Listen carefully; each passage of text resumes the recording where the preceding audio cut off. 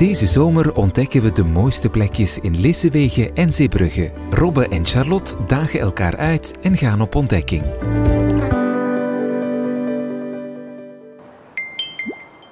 Wie bedacht de container? De container. Ik ben op zoek naar iemand die mij iets kan vertellen over wie de container uitgevonden heeft. Geen idee. De container? Eh, De afvalcontainer of zo? Wat? De container? Wat? Meneer container misschien? Excuseer, meneer. Ja, hallo. Mag ik iets vragen? Zeker. Wat weet u over containers? Voor containers. Ik kan je daar een hele hoop over vertellen. We hebben onmiddellijk een klas die aan boord zal komen. Ik zou zeggen, spring maar mee en ik vertel je er alles over. Oké, super.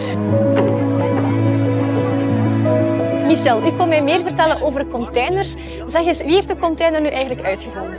Containers zijn uitgevonden in de jaren 50 door Malcolm McLean. Was een Amerikaanse vrachtwagenchauffeur en ondernemer die het echt beu was dat hij zo lang moest wachten als de vrachtwagen werd geladen en gelost. Bestaan er ook verschillende soorten containers?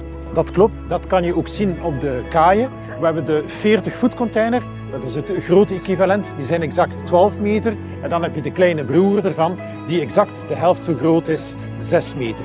Oké, en de verschillende kleuren, hebben die ook een betekenis? Dat heb je goed opgemerkt. Bepaalde kleuren verraden dus de inhoud van een container. Als je goed eh, opmerkt, heb je ook witte containers of reefers. Deze zijn altijd gekoeld en bevatten verse levenswaren of diepvriesproducten. Oké, super boeiend. Dikke merci voor de informatie.